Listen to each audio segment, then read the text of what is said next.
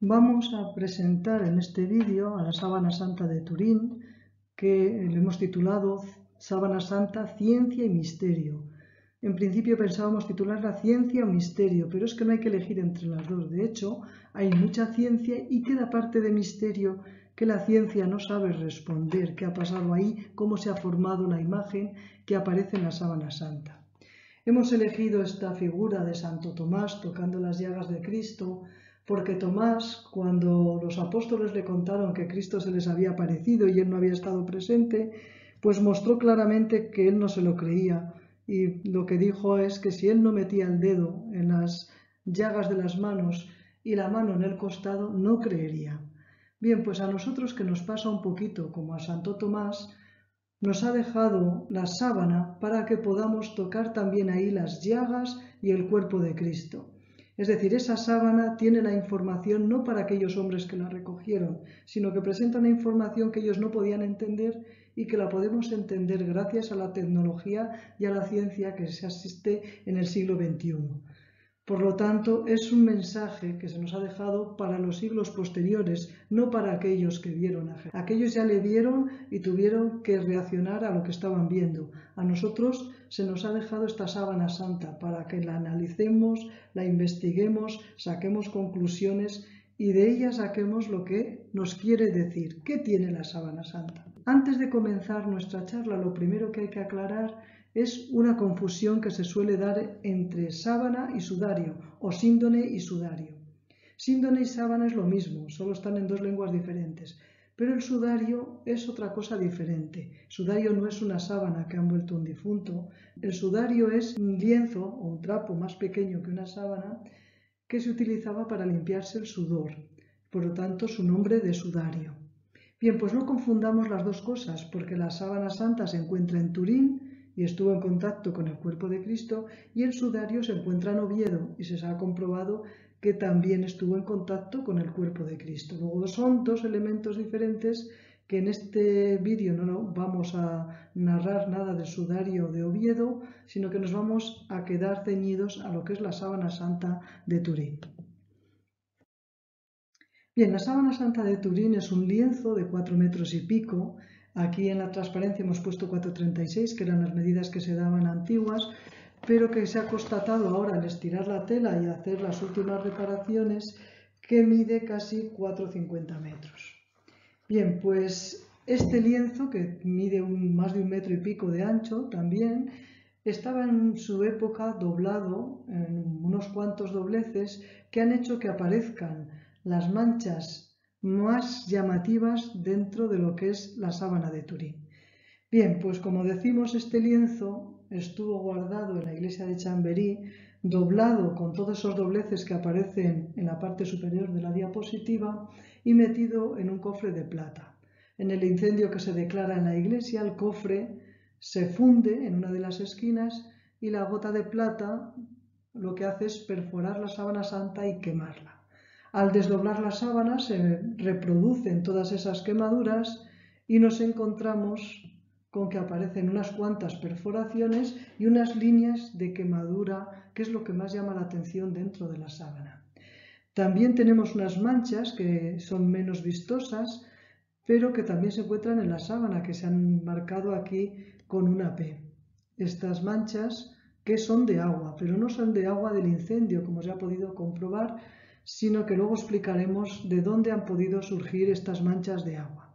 La sábana también tiene, por supuesto, como era de esperar, la figura de un hombre, un hombre visto por la parte delantera y por detrás. Lo que más nos importa es la figura de este hombre. Las otras cosas que nos pueden llamar más la atención, pues unas tienen más o menos importancia, pero nosotros lo que vamos a analizar es la figura de ese hombre que está en la sábana. Ese hombre que todos los datos que se recogen en la sábana coinciden con lo que narran los evangelios de la pasión de nuestro Señor Jesucristo. Bien, pues lo primero que vamos a hacer es estudiar la tela de la que se han escrito más de una tesis doctoral. Es decir, esta tela es de lino, un lino que está tejido de una forma determinada, es una sarga. Es decir, que si nuestras telas normales están tejidas con un hilo de trama, urdimbre y pasando uno para arriba, uno abajo, uno arriba, uno abajo. En el caso de la sábana de Turín, esto es una sarga que está tejida 3-1, es decir, al cuarto, es decir, tres hilos los salta y baja por debajo del cuarto.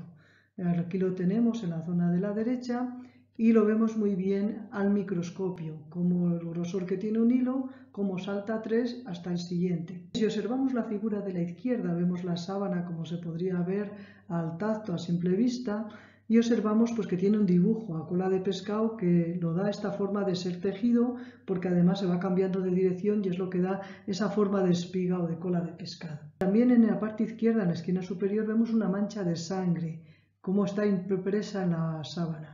En cambio, en la imagen que está a la derecha, observamos que hay una zona de oscurecimiento dentro de esas fibras de la sábana, de esos hilos, pero que es muy superficial, no vemos pigmento. Este oscurecimiento es la imagen que lleva la sábana, pero no se observa que exista ningún pigmento.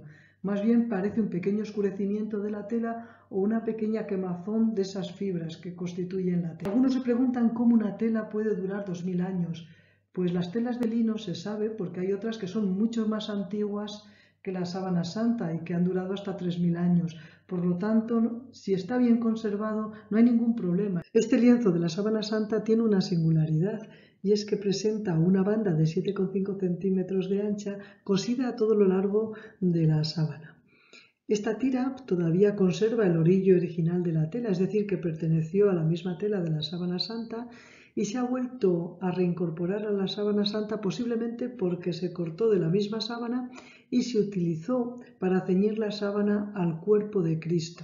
El textil a cargo del proyecto de preservación de la sábana santa de Turín en 2002 encontró que el patrón de costura que se veía por detrás de la sábana, ya que por delante es de una perfección que a duras penas se nota que tiene ahí una unión con la tela, digo que tenía la misma costura encontrada en el dobladillo de una tela descubierta en las tumbas de la fortaleza judía de Masada y que se encuentra fechada fehacientemente desde el año 40 a.C. al 73 después de Cristo.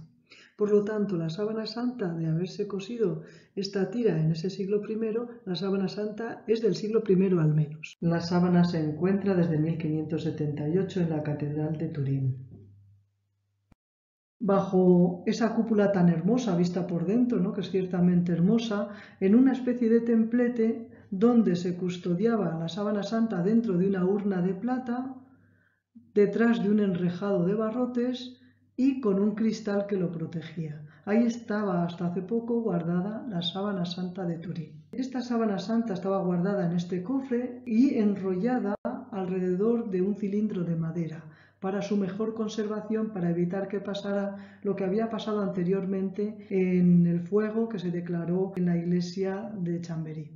En el año 1997 hay que arreglar la capilla y se le saca un pasillo custodiado o protegida la sábana con un cristal de seguridad de gran espesor y de gran resistencia.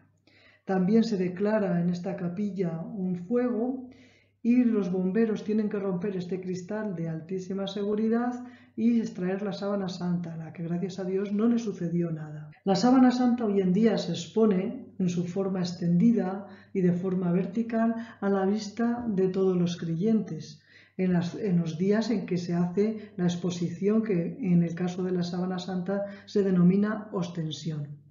Bien, esta sábana se encuentra hoy en día metida dentro de un cristal, o sea, de una cámara que un, ordenador controla la proporción de nitrógeno y oxígeno, va limpiando el cristal que tapa la sábana y lo que hace es custodiar que no cambie la atmósfera para que la sábana no sufra envejecimiento alguno. ¿Qué nos interesa a nosotros? Pues lo primero, la pregunta clave, la pregunta del millón es, ¿envolvió el cuerpo de Cristo esta sábana? Bien, para ello vamos a estudiar una serie de cosas. Quizás tenemos que dar respuesta a otra serie de preguntas. ¿Cómo puede conservarse una tela más de 2.000 años? Ya lo hemos dicho que existen otras. por lo tanto, esta pregunta ya quedaría contestada. ¿Cómo ha llegado hasta nosotros? Pues ahí vamos a ver qué dice la historia en los documentos de la existencia de esta sábana a lo largo de los siglos. ¿Qué datos guarda la sábana? Que es la parte más interesante y es donde la ciencia tiene mucho que decirnos porque a simple vista solo vemos una imagen muy ligera. ¿Quién da testimonio de estos datos que están dentro de la sábana? Pues gente muy preparada en ciencia y en historia y en otras ciencias que dan testimonio de lo mucho que ellos saben en una de las ramas del saber. Y por último, tenemos que ver qué probabilidad hay de que esta sea la sábana de Cristo. Bien, pues comencemos. ¿Cuántos crucificados han sido envueltos en un lienzo fúnebre tras la muerte por crucifixión y enterrados en una tumba? Pues no conocemos ninguno. Puede que haya alguno, no conocemos ninguno. Eh, ¿Qué probabilidad se le calcula? Uno entre 100, pues tirando hacia lo bajo, ¿no?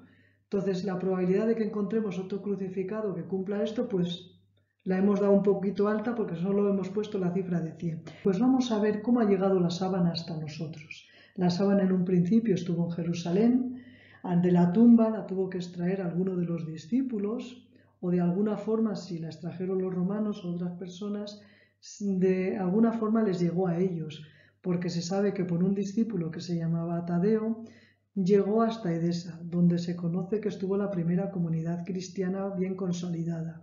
De Edesa pasó a Constantinopla y de Constantinopla, a través de la conquista de los cruzados de esa ciudad, llegó hasta Francia. Y la primera vez que se constata la existencia de la sábana santa es en la exposición que tuvo lugar en el pequeño pueblo de Lirey. ¿Dónde comienzan todos los hechos? Los hechos comienzan el día de Jueves Santo. El día de Jueves Santo, lo que nosotros llamamos ahora Jueves Santo, era el día anterior a la Pascua judía y Jesús había celebrado una cena con sus discípulos en los que había instituido la Eucaristía y se había despedido de ellos. Les había dicho que ansiaba tener esa comida con ellos, que llegara ese momento, pero todos veían que tenía una tristeza y él lo declaró, triste está mi alma hasta la muerte. Acaba la cena y Cristo se va al monte de los olivos a orar. Allí ora a su Padre, pidiéndole que le aparte de ese sufrimiento que le espera y esta la intensidad del sufrimiento que tiene Cristo que suda gotas de sangre. Gotas de sangre que los médicos constatan que se dan en algunos casos porque ha habido personas condenadas a muerte o de una guerra que les ha pasado lo mismo, han sudado gotas de sangre. Cuando está orando en el huerto de los olivos aparece uno de los suyos que no le llama impostor, sino que le da un beso para señalarle delante de los demás y decir que ese es al que tienen que apresar viene acompañados de los soldados del Sanedrín para capturar a Jesús. Y empieza el periplo de Jesús de un tribunal a otro, primero a los sanedritas, donde al de preguntarle que si es hijo de Dios y decir que sí, se le condena, se le trata como si estuviera loco y se le lleva a Pilato, al procurador. Eh, Pilato ve que es un hombre que no tiene gran cosa para ser condenado y decide que le va a someter a un suplicio que dé pena a los demás y de esa manera librarle de la muerte en cruz. Pero lo único que consigue es hacer sufrir más a Cristo y ser condenado porque los judíos no ceden en su empeño. Llama la atención el empeño de un pueblo que está a dos días de la fiesta más grande de ese pueblo y que solo piensa en matar a ese que considera su enemigo. Llama mucho la atención con qué rabia y con qué voluntad firme piden la muerte de Cristo. Cristo tiene que cargar con el madero transversal de la cruz camino al Calvario. Aunque nuestras imágenes y nuestros pasos de Semana Santa representan a Cristo cargando con la cruz completa, no era lo normal, sino que el reo transportaba el travesaño de la cruz al que iban atados sus brazos, con lo cual si caía se llevaba luego golpes todos en el pecho y en la cara es crucificado sobre las 12 de la mañana y a las 3 de la tarde, antes de lo que cualquiera pudiera esperar, sobre todo no lo esperaban los soldados romanos ni nadie, Jesús muere. Una vez que ha muerto a las 3, a las 6 de la tarde empieza la Pascua judía. Tienen tres horas para retirar el cuerpo. Primero lo tienen que ir a solicitar a Pilato, porque no se puede retirar el cuerpo de la cruz sin un permiso. El soldado que ve que Cristo ha muerto le clava una lanza para comprobar que de verdad está muerto, y a los otros crucificados, que no se les puede dejar en la cruz porque va a ser una fiesta grande y los judíos se sienten ofendidos de tener esa visión en una de sus grandes fiestas, les rompen las piernas para bajarles de la cruz. José de Arimatea compra una sábana para envolver el, cuerpo de Cristo y Nicodemo va a buscar los aromas, huir el cuerpo del Maestro. Se le envuelve en la sábana una vez que se le ha hecho una cierta limpieza y la unción y se le lleva al sepulcro que está excavado en piedra. Se quita la calza de esa piedra que solía ser circular y se sella el sepulcro. Además hay que recordar que el sepulcro estaba doblemente sellado porque los jefes de los fariseos no se quedaron tranquilos porque Jesús ya había predicho que iba a resucitar. Ellos no los discípulos no estaban nada contentos y no estaban, no se acordaban. Sin embargo, los enemigos sí se acordaban de que Cristo había dicho eso y se cercioraron yendo a los romanos para decir que sellaran el sepulcro y pusieron un piquete de soldados que lo custodiaran. El domingo por la mañana, a primera hora, las mujeres que saben que el cuerpo de Cristo no ha sido totalmente limpiado ni ungido, van corriendo al sepulcro para acabar con esa operación y se encuentran con que la piedra está quitada. Les parece que se han llevado el cuerpo del maestro, ellas no se asoman al sepulcro, si se hubieran asomado habrían visto lo mismo que vio Juan y hubieran creído de la misma manera pero se alarman por ver la piedra quitada y van a decir a los discípulos que han robado el cuerpo del Señor. Corren al sepulcro Pedro y Juan. Juan, que es más joven, corre más, llega el primero, se asoma y al ver los lienzos que estaban como aplanados, o sea, estaban como los había dejado, que se envolvía a Cristo en la sábana, pero se le ataba de esta manera, con una venda alrededor del cuello y del cuerpo, es decir, quedaba ceñida la sábana, y Juan lo que ve es que está la, la sábana con la venda que lo ciñe, pero que el cuerpo ha desaparecido sin romper la venda y sin apartar nada. Es decir, que está allí todo, pero como aplastado, sin nadie dentro. Entra Pedro y entonces los dos pensamos que recogerían la sábana en ese momento y se la llevarían. Bien, y empieza la historia de la sábana. La historia de la sábana es que los primeros cristianos tuvieron que salir de Jerusalén porque eran perseguidos por los judíos. Además, en el año 70 los romanos destruyen Jerusalén y todos los cristianos ya habían salido en ese momento y se habrían llevado la sábana santa a otro sitio. La sábana santa aparece por primera vez en Edesa.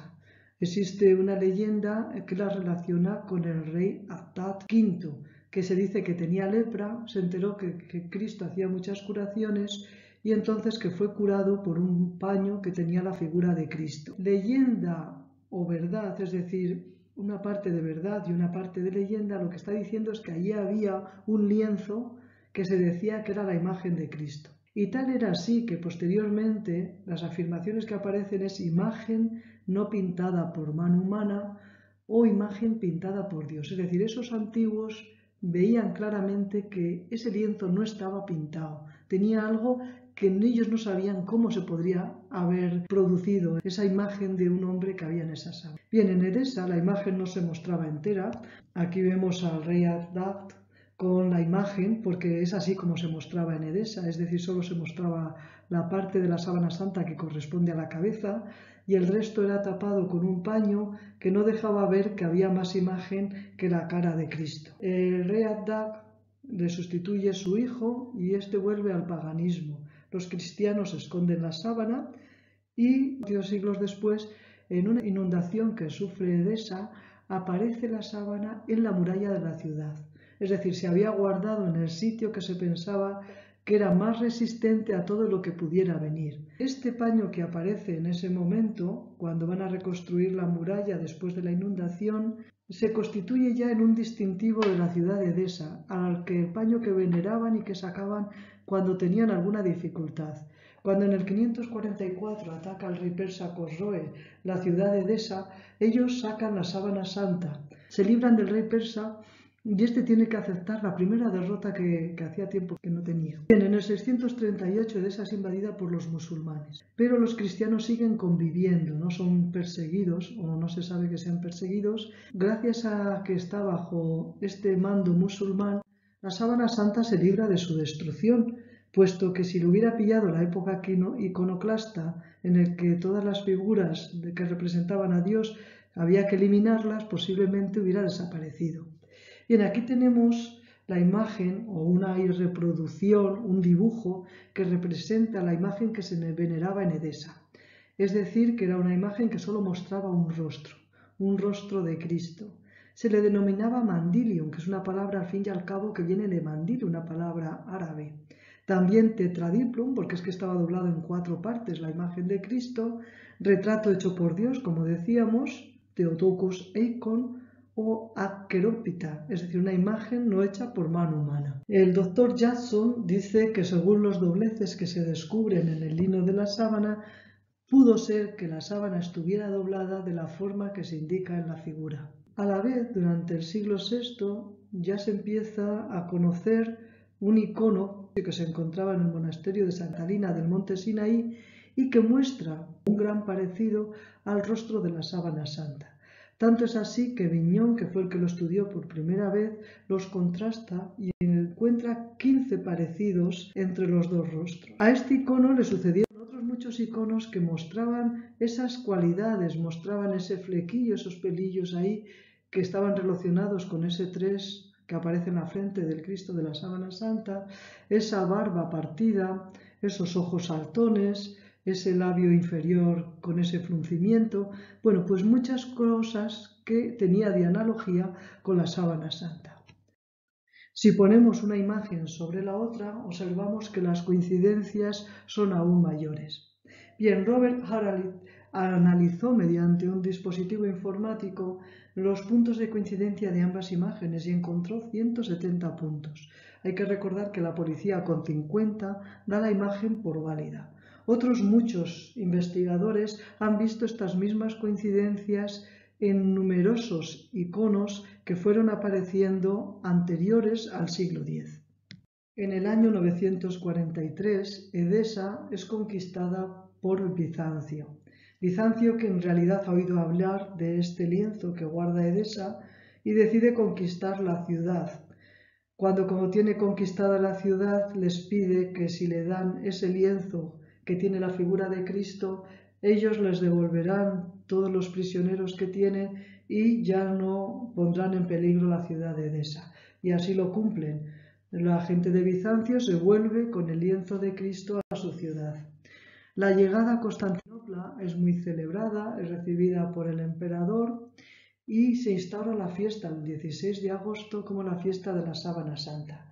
La Sábana Santa, después de estar por la iglesia y el palacio imperial dentro de la ciudad de Constantinopla, se la lleva por fin al Palacio de la Blanquerna, donde hay una iglesia dedicada a Santa María de la Blanquerna, y ahí se va a quedar custodiada la Sábana Santa y se expondrá todos los viernes. En esa iglesia de la Blanquerna que se ha reconstruido virtualmente, ahí tenemos el palacio con la iglesia, que es esta planta de cruz, y que tendría pues más o menos esta fisonomía. Hoy no existe nada de todo ello.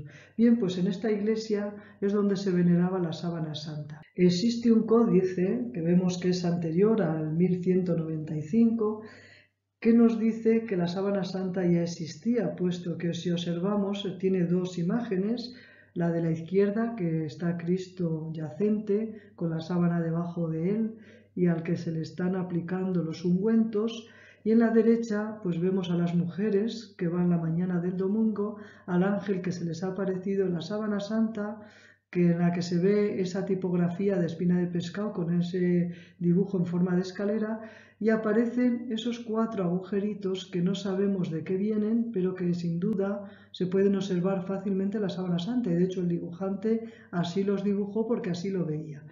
Si observamos la figura de la izquierda vemos que el Cristo tiene cruzados los brazos sobre el pubis, lo mismo que podemos ver en la sábana santa. Es decir, que el dibujante había visto la sábana santa. Si observamos a las mujeres y al ángel y a la sábana santa, pues observamos, como decíamos, esas cuatro perforaciones que aparecen en la sábana santa y que son anteriores al incendio que tuvo lugar en Chamberí. De hecho, este lienzo, este dibujo, está pintado casi en el 1200 y ya tiene esas perforaciones. En 1204 es invadida Constantinopla por los cruzados, es conquistada Bien, entre ellos estaba Otto de la Roche, uno de los capitanes de los cruzados, que se encontraba en el Palacio de la Blanquerna, su unidad residía allí. El hecho es que la sábana santa desaparece, o sea, después de esta estancia de los cruzados en la Blanquerna, la sábana santa desaparece y se le pierde su existencia sin saber dónde se encuentra. Todos piensan que se lo llevó Otto de la Rocha. Si Otto de la Rocha adquirió la sábana santa de esta manera, o sea, se adueñó de ella, lo propio es que la mandara a Francia como hacían otros cruzados con las cosas que iban adquiriendo en Tierra Santa. Se piensa que se la pudo mandar a su padre, pero se ha comprobado que su padre murió dos años antes, por lo tanto no pudo mandársela a su padre, sino que seguramente se la dejó a su hijo, que era también cruzado y que vivió en este castillo que tenemos en la figura. En este castillo, de hecho, se guarda un cofre que, en el que se dice que estuvo la sábana santa. Sábana santa también se sabe que ha sido expuesta en la catedral de Besançon, bien porque seguramente Otto de la Roche mandó una copia al obispo de esa sábana santa, pero lo que sí que se sabe es que la, la sábana santa que se quemó en la Revolución Francesa era una copia de la sábana santa real. Por lo tanto, no sabemos cuándo se sustituyó una por la otra, pero en todo caso, lo que había en Besançon seguramente era una copia de la sábana real. La sábana aparece por primera vez en Lirey, en el que se hace una ostensión de ella, o sea, una exposición, y esta sábana se dice que la había adquirido Godofredo I de Charny, un cruzado también. Sin embargo, este estaba casado con una tataranieta de Otto de la Roche, por lo tanto, lo más probable es que viniera por parte de la señora, la, la sábana vino a manos de Godofredo I de Charny. A la muerte de Godofredo I de Charny, pide permiso al obispo para exponer la sábana santa y cobra para ir a ver esa sábana santa. Lo hace con el fin de poder mantener a la familia porque con la muerte del esposo andaban muy escasos de bienes económicos.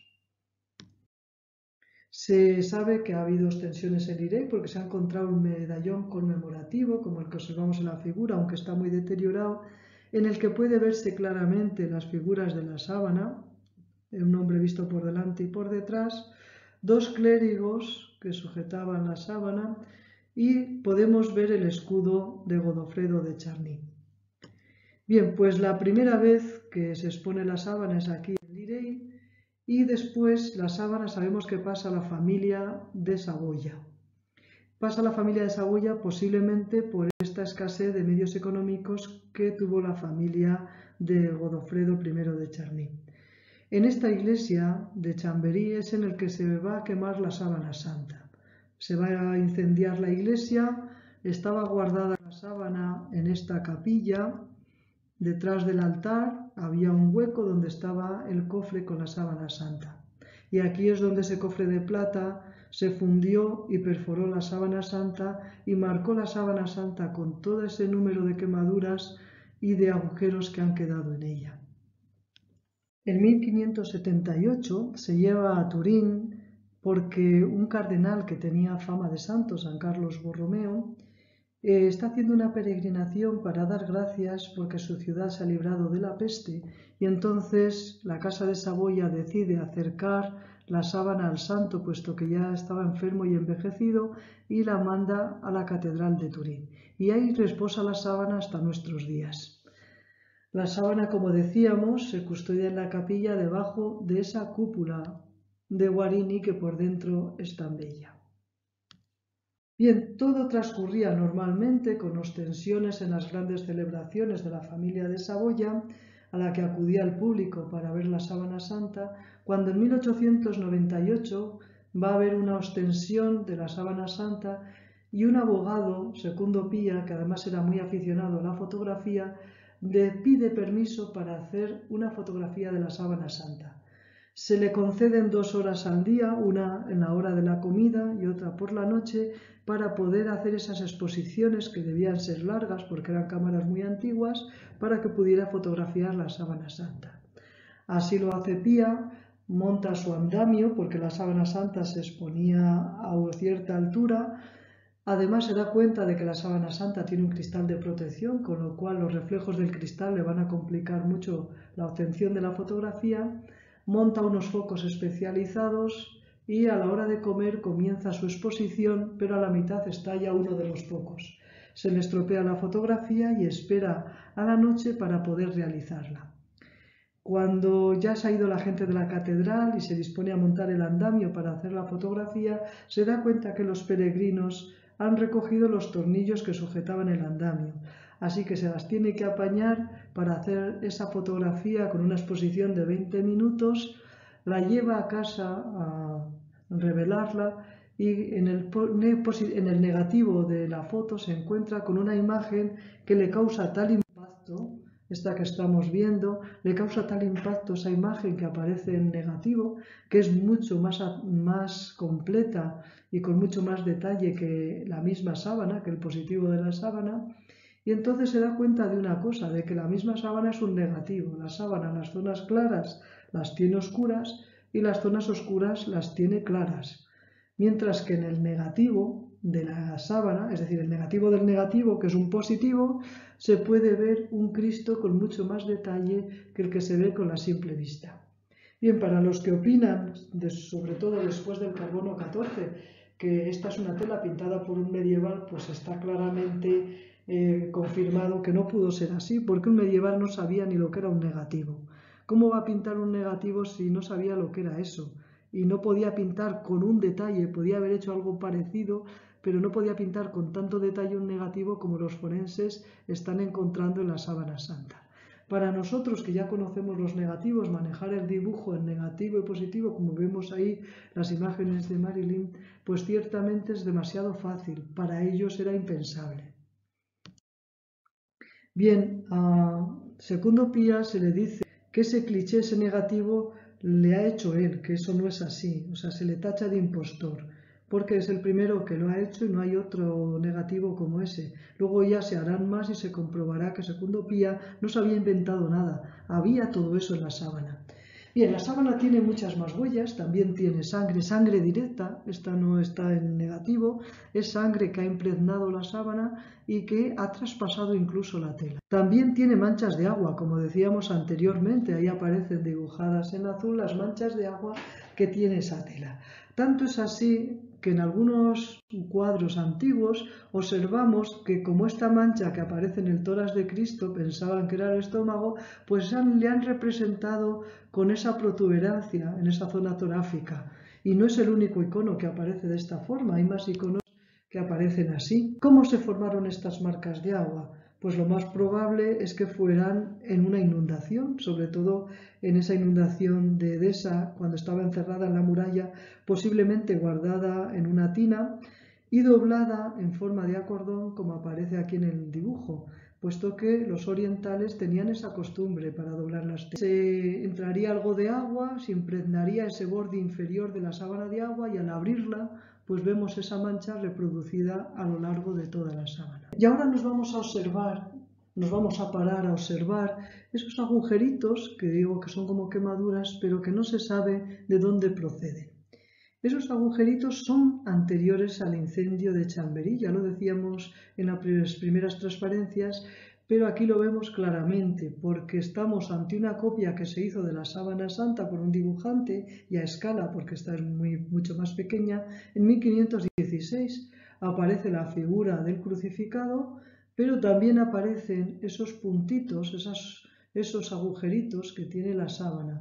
Ahí los tenemos por detrás, de la misma manera los dibujó en los dos el dibujante. Es decir, existían antes de 1532 cuando sucedió el incendio de Chamberí. Tenemos nuestra sábana con dos figuras, dos figuras que vamos a entrar a analizar. Cuando la estudió por primera vez el STURP, ese grupo de científicos, el presidente era un ingeniero de la NASA, el doctor Jackson, pues cuando estudiaron esta sábana se dieron cuenta de que al someterla al VP8, un analizador de imágenes para imágenes que tenían datos en tres dimensiones y generaban figuras en tres dimensiones, se les ocurrió aplicarlo a la sábana santa y se dieron cuenta que la sábana santa también guardaba en sí una fotografía que tenía datos tridimensionales y que era posible reconstruir la figura en tres dimensiones. Tecnologías mucho más avanzadas que entonces, pues se ha reconstruido lo que sería el rostro de Cristo y el cuerpo de Cristo que el escultor español Miñarro, José Manuel Miñarro, catedrático de la Universidad de Sevilla, pues ha podido realizar la escultura del Cristo yacente, el Cristo que fue envuelto en una sábana. La tenemos aquí en la figura. Si reconstruimos el rostro de Cristo en una pintura, quitándole aquellas partes que en la sábana santa están muy inflamadas, eh, quitándole la sangre al rostro, la sangre que ha quedado retenida en la barba, los escupitajos y todo lo que tiene el rostro de Cristo que se debe a su pasión, nos encontramos con un rostro de Cristo parecido a la imagen de la derecha. Es decir, un rostro sereno, un rostro muy judío, ciertamente, y un rostro que no nos llama la atención porque nos hemos acostumbrado ya a representar a Cristo así. Si observamos la figura de Miñarro de este Cristo ya yacente, observamos lo que nos dicen los forenses, porque Miñarro, con los datos que ha aportado la ciencia, ha hecho la reconstrucción de esa imagen de Cristo. Observamos que tiene el tabique de la nariz roto, los forenses dicen que la sábana santa se constata que la nariz está hinchada, desviada, está roto el tabique nasal y que tuvo que ser con un golpe muy contundente, posiblemente un golpe con un palo de más o menos 4 centímetros de diámetro. Se sabe por la Biblia que Cristo, el Sanedrín, recibió un golpe que el Evangelio dice una bofetada, pero parece ser que esa bofetada era un golpe dado con un palo como nos dice la sábana santa, y cómo los traductores que trabajan sobre los escritos de la Biblia, al repasar las traducciones, se han dado cuenta que el verbo griego lo que indicaba era un golpe contundente, no una bofetada. Observamos también que la zona de la nariz tiene Cristo un escupitajo, tiene un golpe, el golpe de la nariz también dio en el pómulo, tiene el pómulo muy inflamado, el otro pómulo también está inflamado y lacerado, y las cejas también están muy inflamadas porque han recibido diferentes golpes. Incluso en la frente se ve claramente que tiene un golpe claro. La barba está llena de sangre, el bigote y el pelo y se ven numerosos regueros de sangre que venían de la corona de espinas. El hombre de la sábana santa fue coronado de espinas, lo mismo que Cristo. Observamos numerosos regueros tanto en la parte frontal como posterior de la cabeza. ¿Cómo se formaron todos estos regueros de sangre? Pues está claro que no fue con una corona de espinas de la que simplemente ciñe la sien, como la que estamos acostumbrados a representar, sino que era un casquete, o sea, que cubría completamente la cabeza.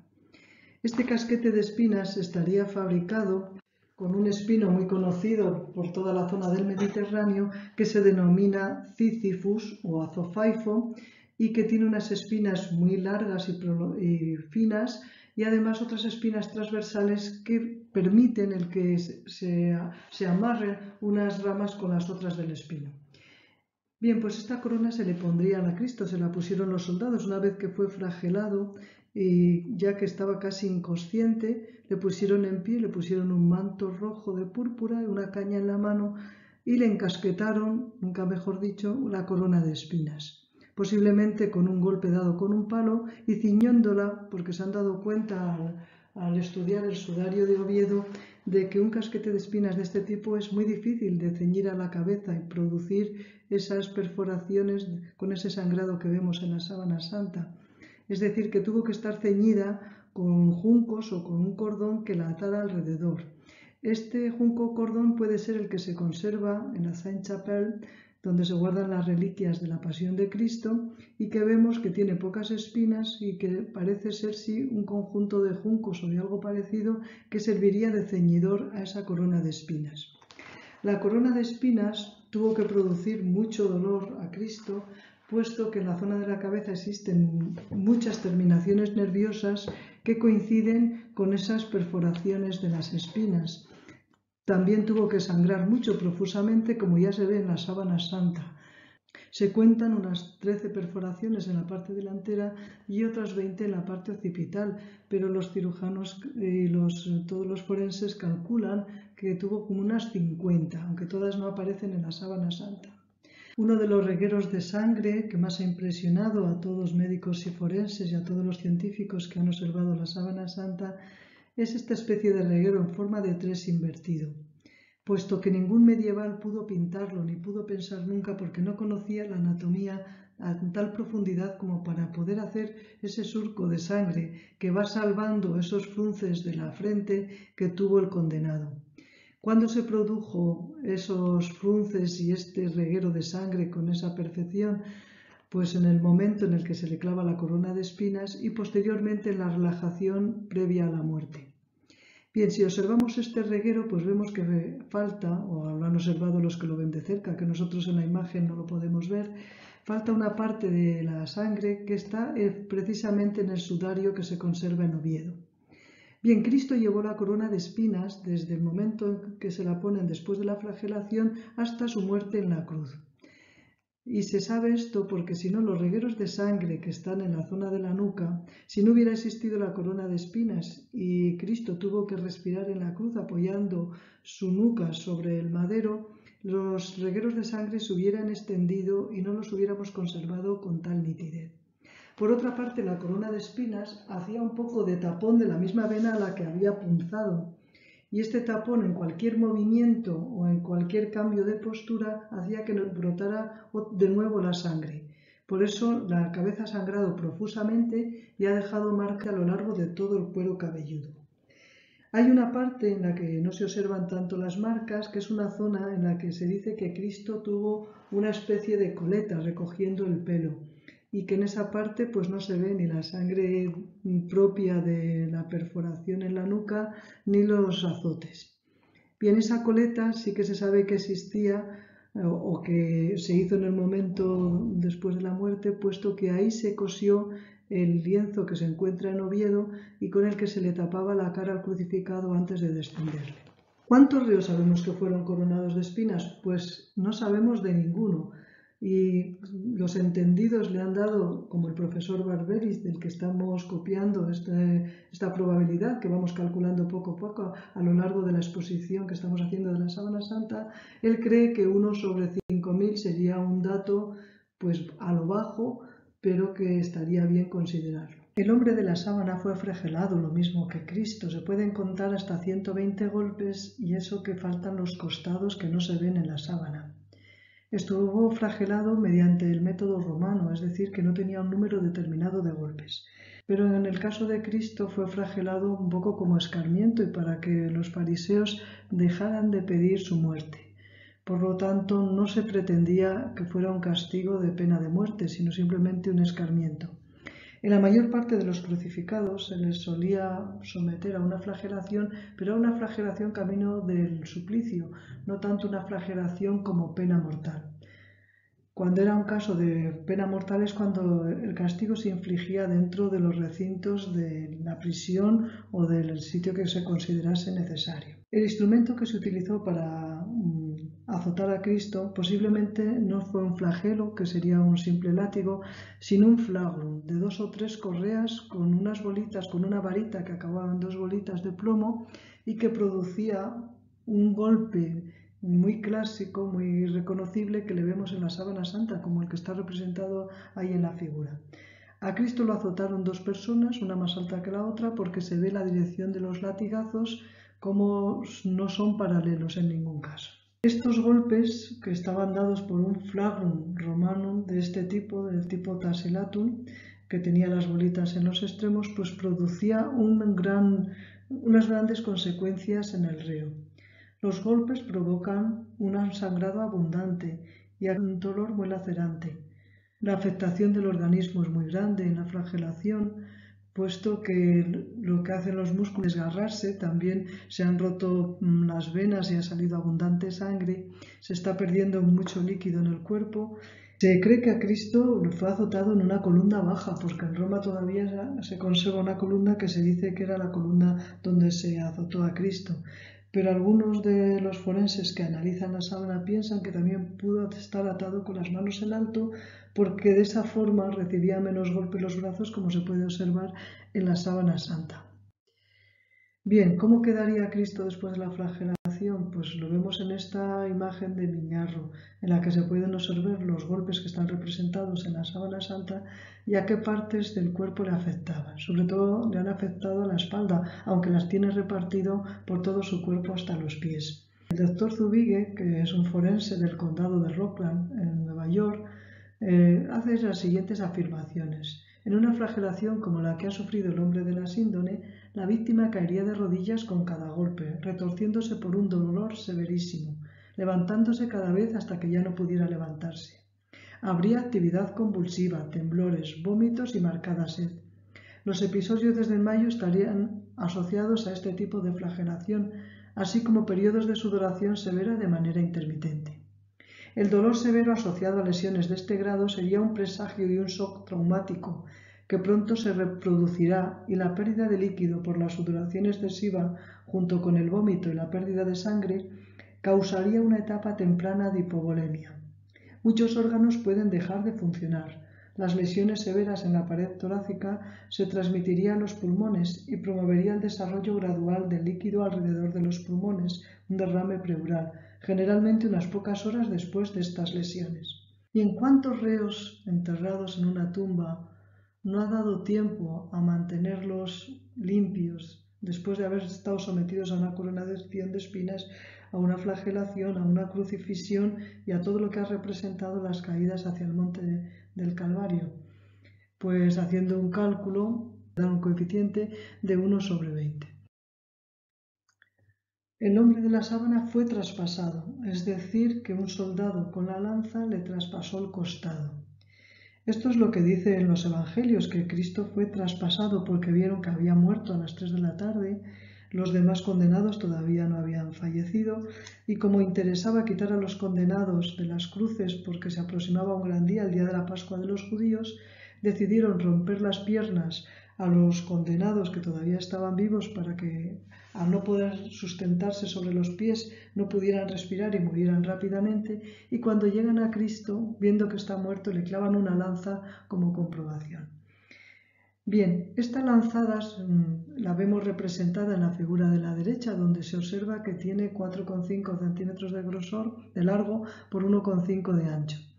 Bien, por esta herida nos dice San Juan que salió sangre y agua, como se puede observar perfectamente en la sábana santa. Es decir, se ve sangre y otras zonas donde no hay sangre y que hay suero sanguíneo o suero de ese líquido que se había formado en la pleura.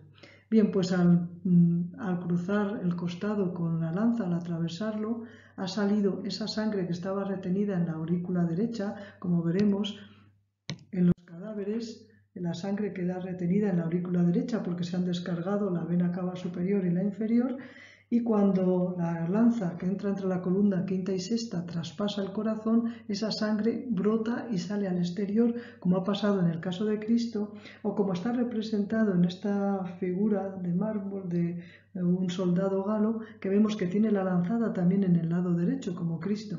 Es decir, los romanos, los soldados romanos estaban entrenados para atacar con su lanza o con su espada por la derecha, es decir, manejaban la izquierda porque el adversario tenía cubierta toda la izquierda con el escudo donde lo mantenía sobre la mano izquierda y atacaba con la lanza que tenía en la mano derecha. Por lo tanto, el lado más vulnerable era ese, donde no tenía el escudo y los soldados romanos estaban habituados a clavar la lanza por ese costado como se ha hecho sobre el cadáver de Cristo. Además, si la cruz era alta, el soldado romano posiblemente tuvo que ir a caballo porque la lanzada está dada casi horizontal. Y en todo caso puede que la cruz no fuera tan alta como nosotros la representamos y que la pudiera dar el soldado desde el suelo. Bien, una vez que muere Cristo hay que llevarlo al sepulcro. En la herida del costado que ha manado mucha sangre y que ahora Cristo es puesto en horizontal, lo que hace la sangre es formar un que se derrama por la espalda, como vemos. Bien, pues ahí tenemos ese surco de sangre, esa sangre que estaba a punto de coagular y ha coagulado rápidamente y se ha quedado rodeando la cintura de Cristo. La sangre que se encuentra en la sábana santa, toda esta sangre se le han hecho pruebas de luminiscencia con radiación ultravioleta y se ve que es auténtica sangre. Además que se han encontrado glóbulos rojos y los análisis dan que hay verdadera sangre. Hay moléculas de porfirina, hay moléculas de bilirrubina, o sea que se ha encontrado que es sangre auténtica. Luego tenemos que partir de este hecho. No es como decían algunos en su época que solo era óxido de hierro. Es verdad que hay óxido de hierro, como dicen los investigadores, pero ese óxido de hierro es microscópico. Ningún medieval pudo hacer mediante molienda un óxido tan fino. Por lo tanto, es el óxido de hierro que ha salido precisamente de esa oxidación de los glóbulos rojos de la sangre. Es verdaderamente sangre. Además, esa sangre ha traspasado la tela, la imagen no lo ha hecho. Y debajo de las costras de la sangre no hay imagen Quiere decir que la imagen se produjo después de que la sangre hubiera impregnado la sábana. La sangre es del grupo AB de un varón, y se observa grandes cantidades de bilirrubina, es decir, de descomposición de la sangre. Además, algunos científicos como Baldacchini y Marinelli hablan de la ausencia de signos de arrastre, es decir, que a Cristo o al hombre de la sábana nadie le quitó la sábana, sino que él salió de una forma que no rozó ni hizo que se arrancara la sangre ni que se arrastrara.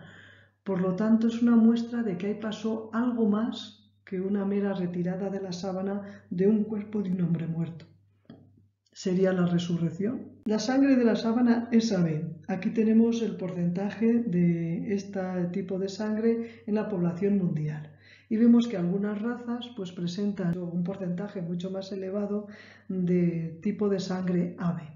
La raza judía es una de estas, presenta un porcentaje tres veces mayor que el resto de la población mundial. Además, en los milagros eucarísticos que ha habido a lo largo de la historia y que se han analizado, se ha comprobado que esa sangre también era AB.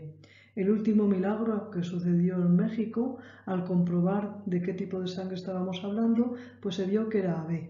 En los años 90, el actual Papa, el arzobispo Bergoglio, le avisaron de que se había encontrado que una de las formas y en numerosas ocasiones, además, en 92, 94, 96, esa sangre también era del grupo AB. Además, en este caso también había células de musculatura del ventrículo, células que al pincharlas sangraban. ¿Cuántos crucificados no les quebraron un hueso y les traspasaron con una lanza? No conocemos ningún caso. La probabilidad que se le ha calculado es de 1 sobre 10. Bien, el hombre de la sábana fue crucificado.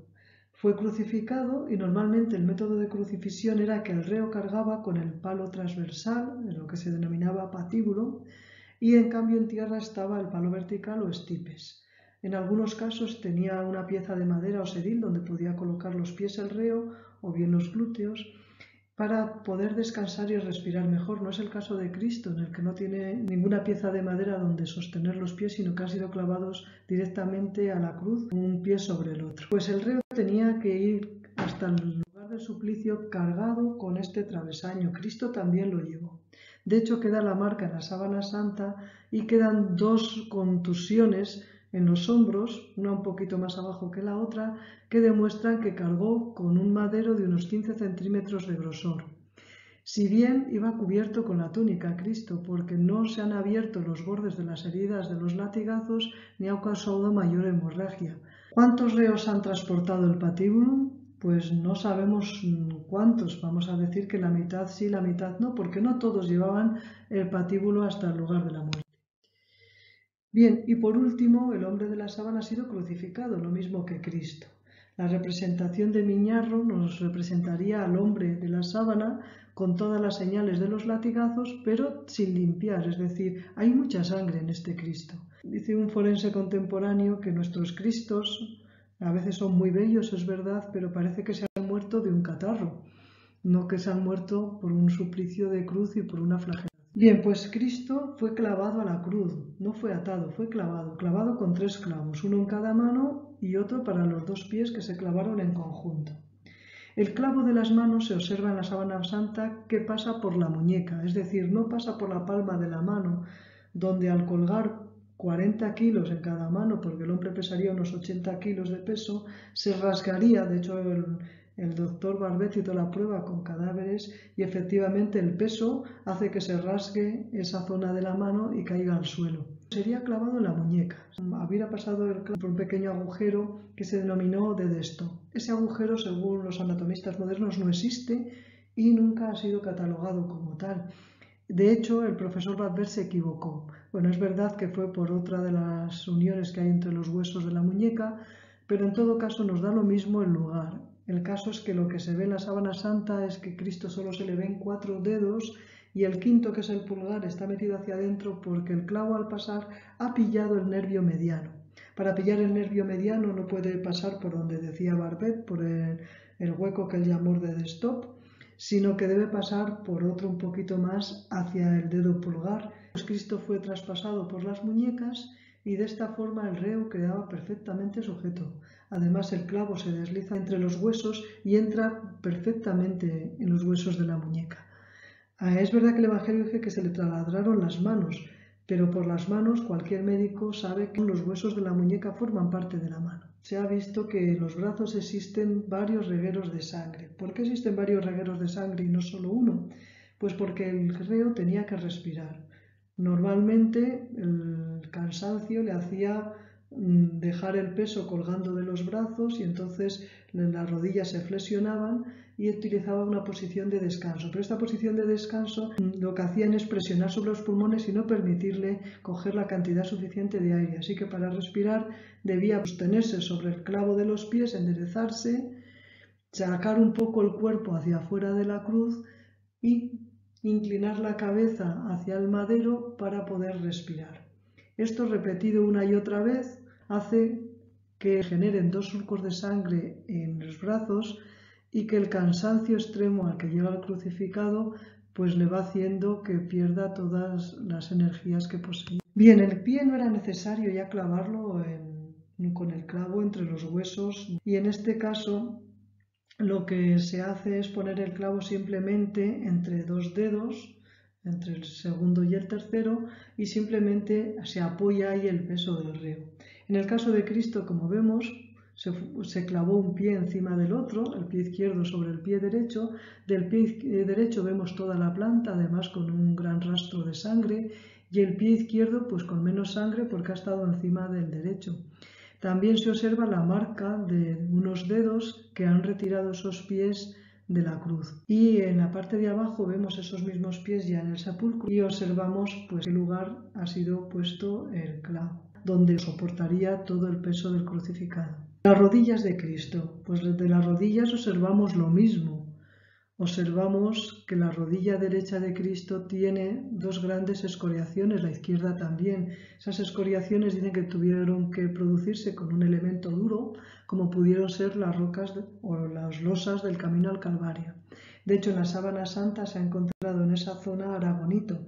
Aragonito es el tipo de piedra que tiene el suelo de Jerusalén. ¿Cuántos ríos han sido clavados a la cruz y con tres clavos? Mm, dejando un poco a la estadística, vamos a calcular que de cada dos, uno era clavado con tres clavos, cosa que, no es así. Es decir, había muchos ríos atados, otros clavados con tres y otros con cuatro. Bien, la sábana santa es uno de los elementos arqueológicos más estudiados. De hecho, lo han estudiado mm, muchos grupos de científicos. Bueno, aquí están señalados los más notables porque fueron los primeros, pero aún hoy en día se sigue estudiando la sábana santa, cada vez por especialistas de múltiples grupos de la ciencia. Es decir, por cada rama de la ciencia hay numerosos que centran su atención en la sábana santa. Además, no se conceden subvenciones para estudiar la sábana santa. La mayor parte de los expertos que la estudian lo hacen porque quieren hacerlo, es decir, porque quieren estudiar la sábana santa. Bien, en 1969 se toman las primeras fotos a color por Giovanni Bautista Giudica Cordiglia y a la vez, entre ellas, eh, eh, unos años más tarde, a RAE se le da un trocito de la tela para que lo analice y el profesor Dr. Frey, que es un, que es un palinólogo, pero que se dedica, eh, su oficio era criminólogo en Suiza, estudia el polen de la sábana santa. Como veremos después, analizaremos un poco qué es lo que encontró el doctor Frey en este polen de la sábana santa.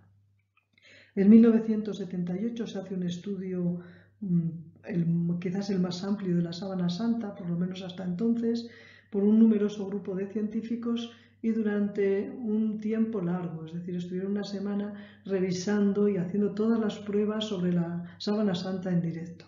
Este grupo estaba dirigido por el doctor Judson, que pertenecía en esos momentos, era un ingeniero de la NASA.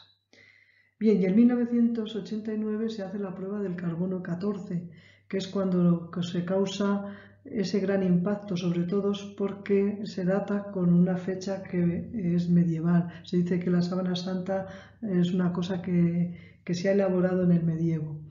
Bien, eh, a pesar de todo este estudio del carbono 14, los estudios siguientes lo único que corroboran es que hay algún eh, elemento de fallo en el carbono 14 y que todos los demás, como todo lo que acabamos de decir hasta aquí, atestigua que la sábana es del siglo I. Bien, ¿qué sabemos del carbono 14? Pues el carbono 14 tiene una probabilidad, como está ahí dicho, del 67,8% de los casos, data muy bien, es bastante exacto en la datación. En el 9,6 da una fecha dudosa y en el 22,6 da una fecha que es errónea. Es un porcentaje alto para ser una prueba científica y nos quiere decir que algo, siempre hay eh, como circunstancias que hacen que esta prueba del carbono 14 no dé el dato que, que todos estamos esperando que tendría que dar. En la sábana santa tiene muchísimas circunstancias que ya el mismo investigador que descubrió este método de datar del carbono 14, Willard Levy, dijo que este método no era para utilizarlo sobre la sábana santa porque no reunía las condiciones apropiadas para realizar la prueba sobre él. El carbono 14 da muy buenos resultados en muestras que no han sido manipuladas, es decir, que se extraen de una tumba o de un yacimiento arqueológico y a continuación se les somete a una datación mediante la técnica del carbono 14. No es el caso de la sábana, que se sabe que desde el siglo I hasta el siglo XX ha pasado una historia mm, muy larga de viajes, de correrías, de robos, de exposiciones a la gente, de veneración por diferente gente, es decir, ha estado manoseada, ha sufrido incendios, y por otra parte, lo que más puede haber cambiado la sábana ha sido la misma imagen que se ha formado en la sábana, que no sabemos cómo se ha formado y que todos, pues parece ser que es algo parecido a una radiación o a una energía parecida a la nuclear, con lo cual ha podido cambiar esa materia que forma parte de la sábana. El carbono 14, ¿por qué ha fallado? Pues muchos científicos lo dicen. De hecho, ya se han hecho pruebas con otras muestras que también fallaron y cuando se les limpiaba y se quitaba todo aquello que podía impedir la datación del carbono 14, volvían a recuperar esa antigüedad que en un principio pues habían sido rejuvenecidas por la presencia de microorganismos, como vamos a ver que tiene la sábana santa, o por contaminación con humo de incendio, porque ha sido expuesta, como decíamos antes, a muchas circunstancias de manoseo, de, haberse estado sometidas a humos, a incendios, a una serie de circunstancias que lo que hacen que el carbono 14 encuentre cosas mucho más jóvenes y por lo tanto la datación sea de, más, de menos antigüedad de la que uno tendría que esperar. Por otra parte, Bárbara Sullivan nos dice que esto no lo pudo pensar ningún medieval, porque en los pliegues de la, de la tela, que los pliegues que ha sufrido la tela para el enterramiento, no hay imagen. Es decir, si alguien la ha pintado, no quita partes de la imagen porque ha doblado la tela. Eso no se le ocurre ni al caso la manteca. Por lo tanto, es una prueba fehaciente, como muchísimas otras, de que la sábana es auténtica. Bien, el doctor Garza Valdés y sus colegas han descubierto que sobre los hilos de la sábana existe una película de microorganismos que son microorganismos que están vivos y que son más recientes que la sábana santa, por lo tanto están bajando esa datación de la sábana santa. Ray Rogers descubrió la técnica de la bailinina con la que se ha podido datar también la sábana santa y que es una técnica que da mucho menos error que el carbono 14 y que permite un análisis que no depende tanto de las circunstancias. En el caso de la sábana santa, Rey Rogers ha encontrado que la sábana santa, en la zona que se tomaron las muestras para el carbono 14, es una zona que es muy diferente al resto de la sábana. Es decir, esa zona tiene mucha vainilina y muy poca lignina, mientras que el resto de la sábana santa sucede lo contrario, tiene más lignina y no tiene nada de vainilina. La vinilina se sabe que va, mm, es un material que está presente en las células vegetales y que va desapareciendo conforme éstas se van volviendo más antiguas. En el caso del lino, cuando ya no tiene nada de vainilina, quiere decir que es más antiguo de 1300 años. Es decir, la datación del carbono 14 le daba una antigüedad de 650 años a la sábana mientras que rey Rogers lo que nos está diciendo es que la antigüedad es de 1300 a 3000 años, que es lo que tarda la vainilina en descomponerse, en desaparecer. Por lo tanto, la sábana santa es mucho más antigua que esa datación que se ha hecho por carbono 14. Bien, y por último nos queda analizar la imagen de la sábana, el gran enigma de la sábana, Decíamos que esta presentación de la sábana la titulábamos como ciencia y misterio. Esta es la parte del misterio, porque no sabemos cómo se ha formado la imagen. Los científicos la estudian desde todos los puntos de vista y se han dado diferentes explicaciones desde que modernamente se conoce un poquito más la sábana santa, pero nadie se atreve a decir cómo se ha formado la imagen. Todas las pruebas que se han hecho pues dan en principio algo que aparentemente es parecido, pero que cuando se le somete a ver si eso es un negativo fotográfico o a ver si tiene datos tridimensionales como tiene la sábana, pues observamos que no. Bien, ¿qué se observa de esta figura de la imagen? Primero, que es superficial. Algunos han intentado decir que estaba pintada, pues no hay pigmento ninguno y la imagen es tan superficial que solo se queda en la primera capa, en 125 micras, tan siquiera traspasa uno de los hilos de la sábana. Solo afecta una o dos fibrillas. Los cambios de coloración dependen de que el cuerpo, del que la persona que ha estado envuelto en la sábana estuviera, la zona del cuerpo estuviera más lejos o más cerca de la sábana. No hay pigmentación ni dirección de pinceladas, por lo tanto no está pintado.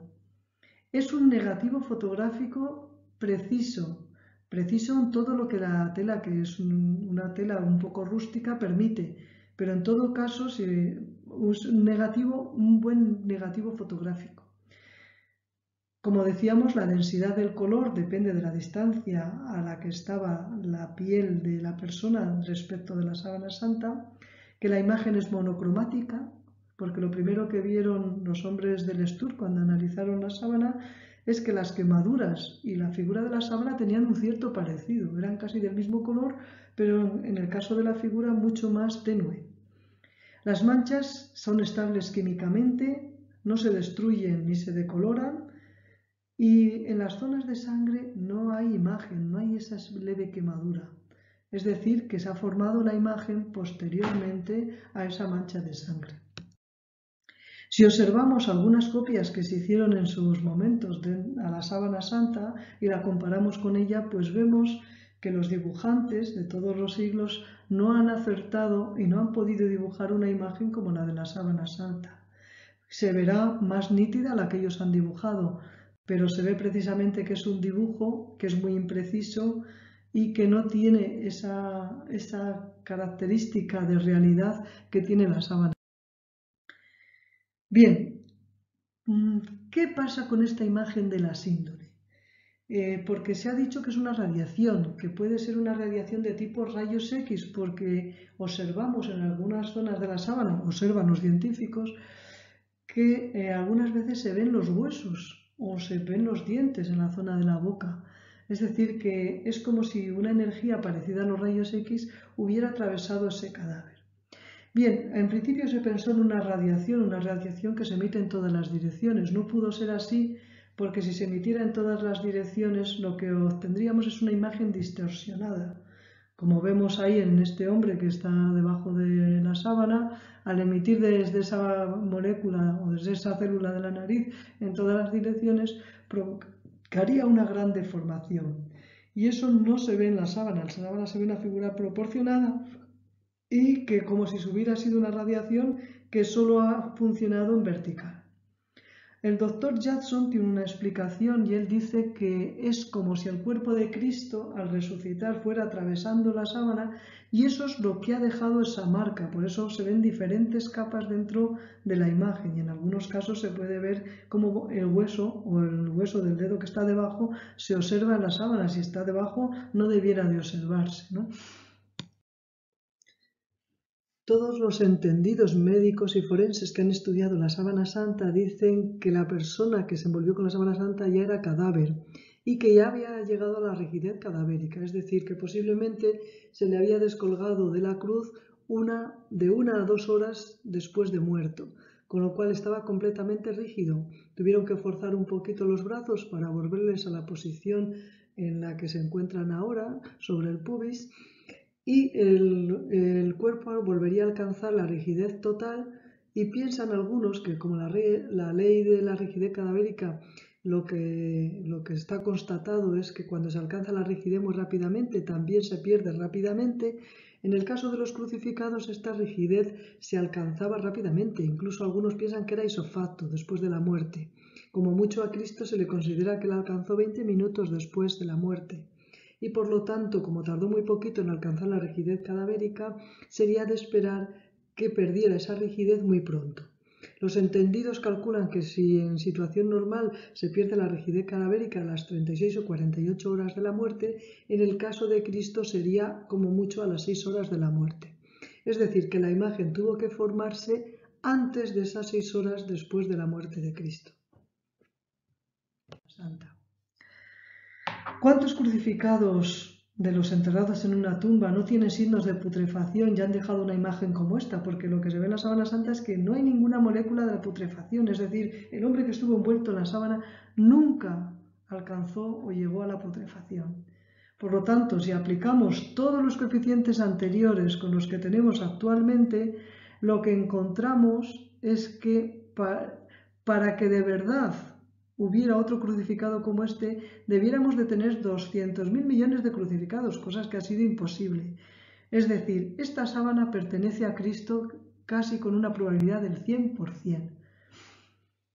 Estudios más recientes y mucho más exhaustivos, tomando mm, como tres alternativas, una que la sábana es auténtica, otra que es falsa y otra que no es auténtica, pero tampoco una falsificación medieval, y utilizando 100 afirmaciones científicas y manejando 700 coeficientes y todo esto sometido a un ordenador que ha tenido en cuenta todos estos coeficientes y todas estas alternativas, lo que nos dicen los científicos es que da el 100% de probabilidad de que sea la sábana que envolvió a Cristo, con una incertidumbre de 10 a la menos 83.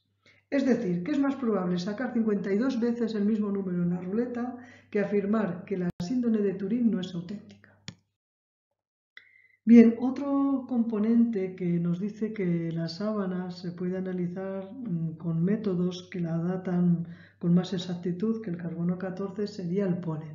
Mas Frey, como ya decíamos en su momento, eh, pidió permiso para sacar muestras de la sábana santa y mediante una cinta de celo simplemente, mirando qué partículas quedaban adheridas y examinándolas al microscopio, pues encontró una serie de pólenes pues muy amplia. Encontró 58 plantas diferentes, 28 que existían en Jerusalén y en el desierto de Judea, 27 de ellas que florecen en primavera, 14 de ellas que solo se pueden hallar en Oriente Medio y que hay pólenes que ya estaban extinguidos y que solo pueden ser encontrados o en las excavaciones arqueológicas de Jerusalén o en los pergaminos del Mar Muerto.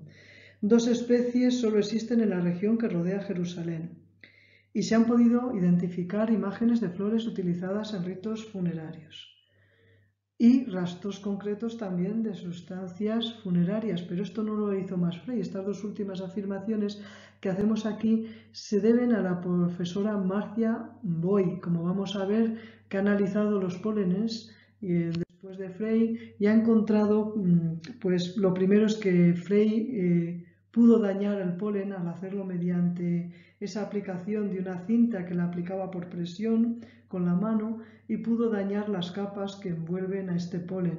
Por lo tanto, no pudo en algunos casos hacer una determinación exacta de las plantas. Bien, la profesora Marcia Boy ha hecho una determinación ya más exhaustiva y lo que se ha encontrado es que la mayor parte del polen, el que había con mayor cantidad y que posiblemente, pues esto lo que ella se le planteaba la pregunta de cómo había tanto polen, si la sábana santa es verdad que ha ido, que ha viajado de un extremo al otro, pero siempre ha ido metida en un cofre y ha estado expuesta pues eh, en horario determinado, pero dentro de una iglesia, y tenía una cantidad de polen de algunas plantas excesivo, como la planta Helichrysum. Esta planta que la tenemos ahí en la imagen, es una planta que se denomina también flor seca y esta planta se utiliza su flor para hacer un aceite, el aceite Indelicrisum, que era muy valorado en, en, Judea y que se utilizaba para ungir los cadáveres. Además, la profesora Marcia Boy ha encontrado muchas más flores que también la planta, muchos más pólenes, perdón, ha encontrado muchos más pólenes que también su planta se utilizaba para fabricar estos aceites que se veían como ungüentos en los cadáveres. En la figura tenemos una de las unas cuantas de estas plantas que ha encontrado la profesora Marcia Boy. Y como sí que ha podido determinar ahora sí que exhaustivamente de qué plantas se trata y se ve cómo esas plantas existen en Palestina y podemos todavía encontrarlas por allí. El profesor Abinoam Danin también estudió las muestras de Masfrey, también encontró los pólenes que pertenecían a Palestina y que él conoce muy bien.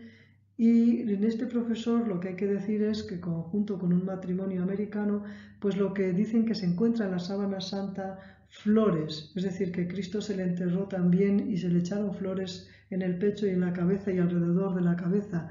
De hecho, él cita algunas que ha descubierto pero en este tema no nos vamos a detener mucho tiempo, como esta pistacia, en la que vemos una fotografía en la que podría verse en la sábana santa y cómo es el fruto en la realidad.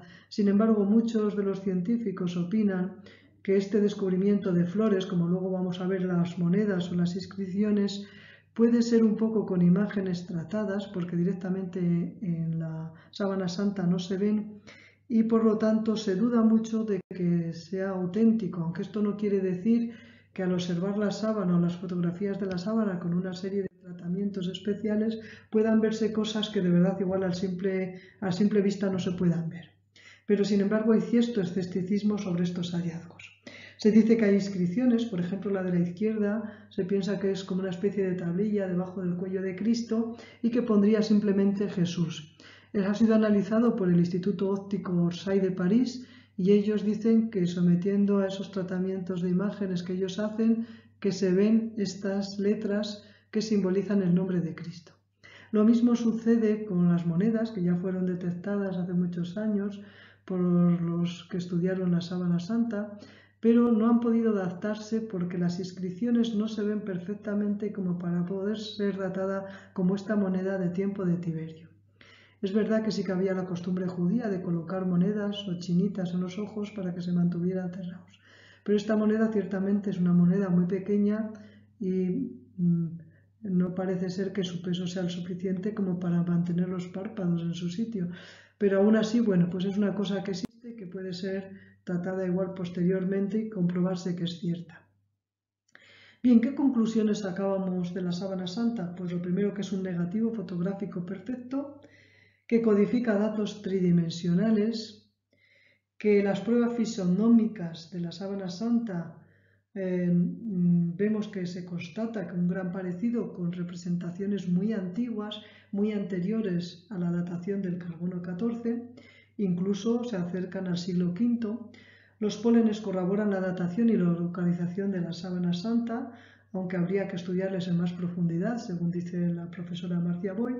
Las correcciones adecuadas a las pruebas del carbono 14 colocan a la sábana en los tiempos de Jesús. Como hemos dicho, se han hecho pruebas con otros elementos en los que se ha eliminado esa capa de bacterias o esa capa de microorganismos y se ha encontrado con que se rejuvenecía mucho el elemento. Bien, que la datación con vainilina confirma que la sábana es de hace 2000 años, que la imagen es superficial y que no existe pintura, que la sangre es del grupo AB que no sabemos cómo se ha formado la imagen y que no se encuentran en la imagen signos de putrefacción, que la sábana no se la arrancó nadie al cadáver, sino que no sabemos cómo se ha desprendido el cadáver de la sábana, puesto que no ha arrastrado nada de la sangre con que ha impregnado la sábana.